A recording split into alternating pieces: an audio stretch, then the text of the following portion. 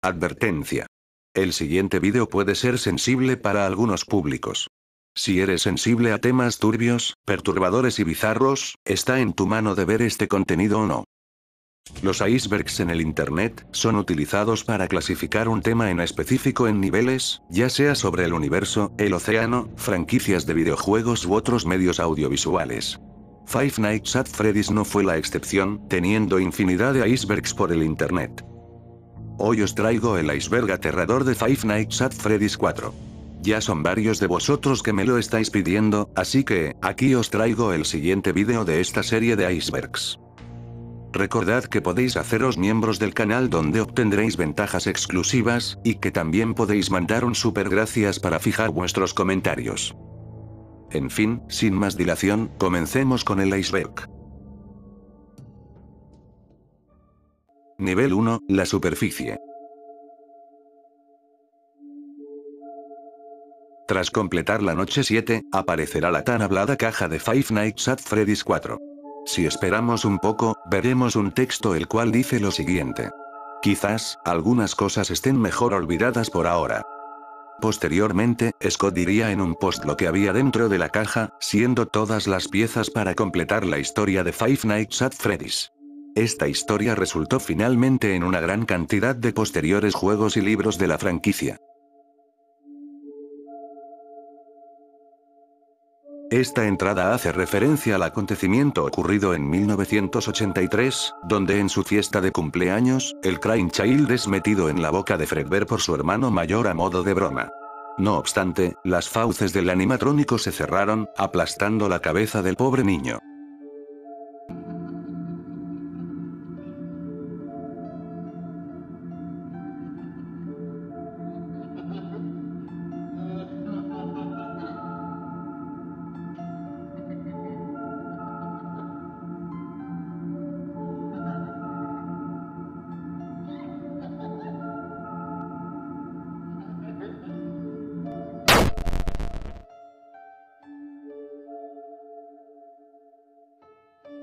En principio, Scott tenía planeado que FNAF 4 fuera el último juego de la saga, como podemos ver en los adelantos de su página. No obstante y como todos ya sabemos, no fue ni de lejos así. Si en el minijuego de la noche 3, cuando volvemos a entrar en la casa, nos quedamos enfrente de la televisión, podremos ver un programa de televisión llamado Fred vs. Friends 1983, donde podemos ver a Fred Bear, Freddy, Bonnie, Chica y Foxy.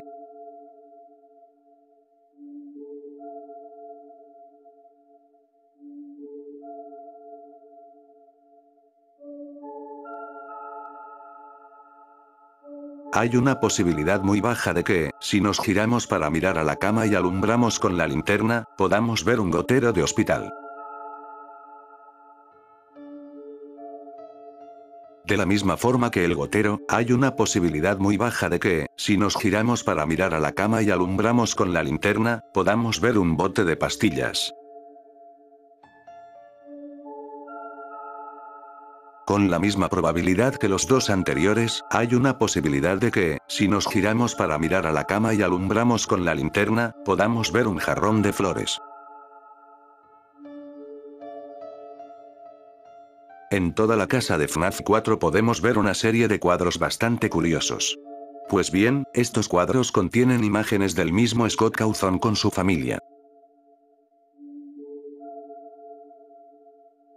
Para conseguir la noche 8, os tenéis que ir al menú de extras tras pasaros la noche 7. En PC, tendréis que escribir en vuestro teclado 4 veces 20 para desbloquear la octava noche. En versiones móviles, le tendréis que dar doble clic al personaje de Nightmare. Esta entrada hace referencia a la teoría más popular que había respecto al lore de FNAF 4, la cual se basaba en la idea de que, el Crying Child al tener miedo a los animatrónicos, debido a los sustos constantes de su hermano, este tendría pesadillas con versiones aterradoras de dichos animatrónicos.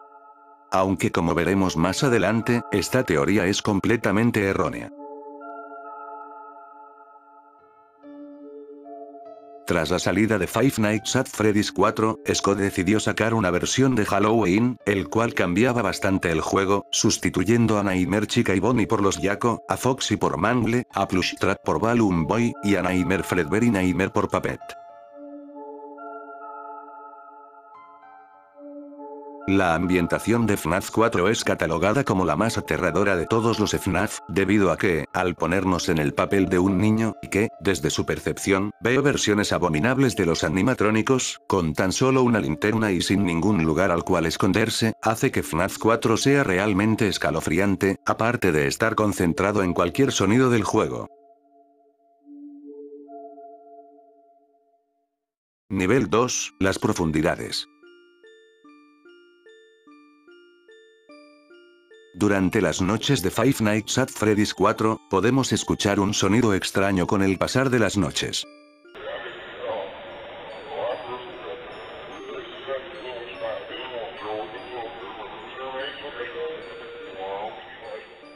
En un primer vistazo, parece ser una especie de radio averiada, pero si le damos la vuelta tenemos esto.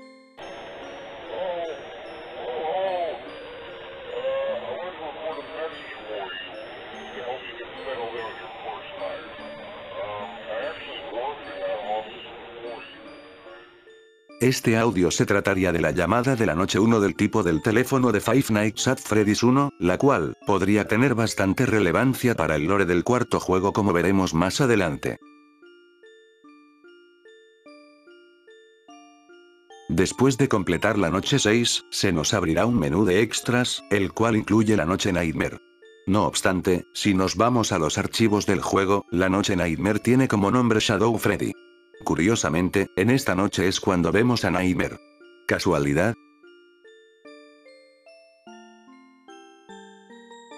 Si tocamos repetidamente la nariz del peluche de Freddy, Nightmare Foxy nos atacará instantáneamente acabando con nuestra partida, independientemente de la noche en la que estemos. En el minijuego de la segunda noche de FNAF 4, veremos que el Crying Child se encuentra en Fredbear's Family Diner. En este minijuego tendremos que ir a la izquierda para que un empleado dentro del traje de Fredbear nos atrape. Pero, si tras ir a la sala de la izquierda nos quedamos quietos cuando sale el texto de arriba y volvemos, veremos un curioso easter egg donde vemos a William Afton ponerle el traje de Spring Bonnie a uno de los empleados de la pizzería. Al final del minijuego de la noche 6 de Five Nights at Freddy's 4, cuando el Crying Child se desvanece podremos escuchar un sonido bastante agudo.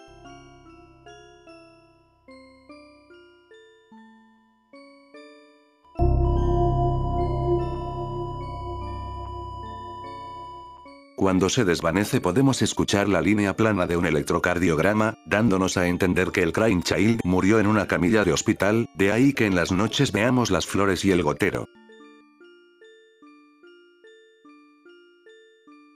David Niar es un youtuber conocido por ponerle voces a personajes ficticios, generalmente de terror.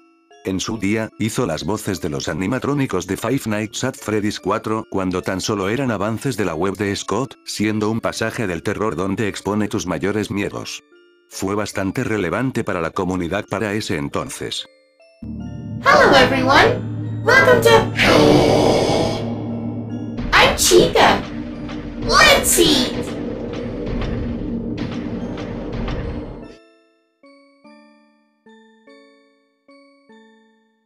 Como en la gran mayoría de juegos de la saga, FNAF 4 tenía personajes falsos al estilo Sparky, como Nightmare Springtrap, Fredbear, entre muchos otros.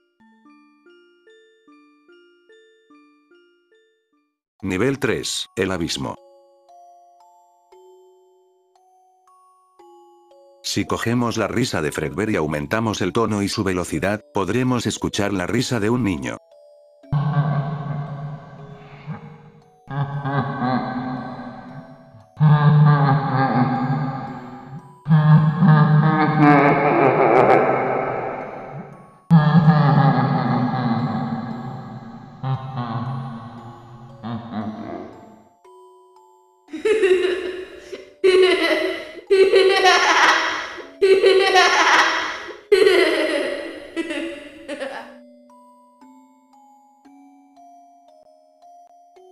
Se tratan de vídeos, de generalmente TikTok, donde gente sube el brillo de ciertas cámaras o partes de los juegos de Five Nights at Freddy's y encuentran cosas que nadie nunca había visto, como personajes ocultos y otro tipo de detalles. En general, estos vídeos se destinan a FNAF 4. En pantalla os estaré poniendo varios ejemplos de imágenes que, si supuestamente le subimos el brillo, podremos ver a extrañas figuras observándonos. No obstante y como es obvio, todas estas imágenes son simplemente edits, por mucho que tú le saques una captura de pantalla a X sitio y le subas el brillo todo lo posible no podrás encontrar absolutamente nada. La historia de Ditopovia cambia y nos confirma por completo el lore real de Five Nights at Freddy's 4. En la historia de Ditofobia, tenemos como protagonista a un chico llamado Rory, el cual tiene 17 años pero que extrañamente aparenta tener 7 debido a un gas que se sitúa en la zona donde está atrapado. Rory lleva ya más de 10 años encerrado y atrapado en una casa falsa la cual se reposita de comida cada cierto tiempo. Por la noche, es atacado por unos animatrónicos aterradores, solo salidos de las peores pesadillas de alguien, los cuales, son los animatrónicos Nightmare. Sin embargo y debido a un golpe de suerte, en estas instalaciones falsas ocurre un imprevisto y Rory consigue escapar de allí, acabando en un local con los animatrónicos Fantime. Tras un rato de andar como pollo sin cabeza, Rory consigue entrar en una sala secreta en la que descubre documentación de otros niños que estuvieron en la misma situación que él, siendo sujetos de experimentos sobre un estímulo, una sensación presentes en todos los seres humanos. El miedo. Los animatrónicos eran tan solo maniquíes que, debido a los gases alucinógenos, parecían ser animatrónicos terroríficos sacados del mismísimo infierno. Terminando la historia, Rory se pone en contacto con un amigo imaginario, Wave, el cual posteriormente, descubriremos que era William Afton. Tras William manipular emocionalmente a Rory, este reactiva el gas, volviéndole a hacerle creer que es un niño, dejándole encerrado una vez más mientras una cinta de cassette se repite en bucle con la voz de William, haciendo que el ciclo de la casa falsa se repita una y otra vez. Toda esta historia aclara y resuelve bastantes cosas de Five Nights at Freddy's 4, además de otros juegos. Ahora que ya sabéis la historia en sí, os contaré todas las cosas que podrían estar confirmadas, resolviendo la historia de FNAF 4. Empecemos por el inicio de todo. Debido a la historia de Rory, podemos dar por hecho que las pesadillas del Crying Child no eran realmente pesadillas, sino maniquís que, debido al gas alucinógeno y a discos ilusorios, parecían ser animatrónicos abominables, provocándole un trauma al hermano menor de Mike. Tras la mordida del 83, William se quedó sin sujeto de pruebas, por lo que eligió a Michael como su nuevo sujeto de experimentos. ¿Cómo sabemos esto? Pues, cuando Mike escribe el Survival Logbook, en pesadillas recientes dibuja un Nightmare Fredbear, como si Mike ya lo hubiera visto antes, debido a los experimentos que hizo William con él. Aparte, también podemos confirmar que en FNAF 1, Michael tiene pesadillas con los Nightmare, pues, en FNAF 4 podremos escuchar la llamada distorsionada del tipo del teléfono,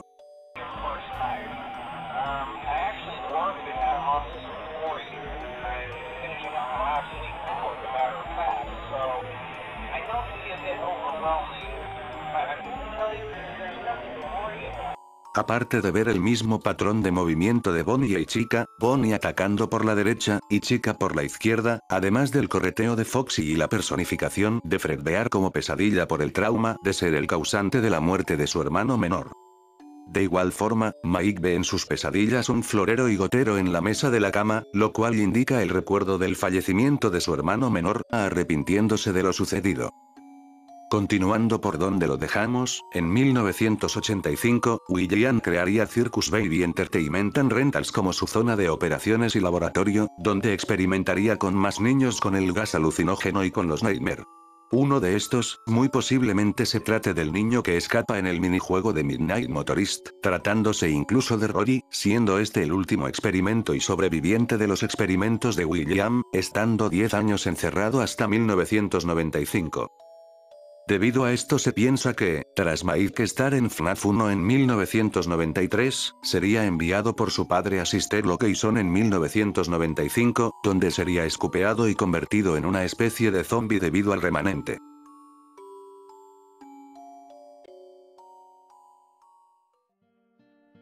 Y bueno, hasta aquí el iceberg aterrador de Five Nights at Freddy's 4. Muchas gracias a todos los que estáis en este momento en el estreno y un saludo a todos. Antes de terminar mandaré saludos a los miembros del canal. Saludos a Miguel D, a José Jode, a Josué Uke, a Iñaki, a Inkling, a Top de Kike, a Uriel, a Power, a PVP, a Angelo, a Blue, a Pradot, a Rodrigo, a Misalea, a Lezandi, a Freddy Fazber, a Alex Cruz, a Alexis, a Wilm Key y Rindu, muchísimas gracias a todos. Suscríbete y dale like si el vídeo te ha gustado, compártelo con tus amigos y sígueme en mis redes sociales para estar al tanto del nuevo contenido que suba. Muchas gracias por ver y hasta el próximo video.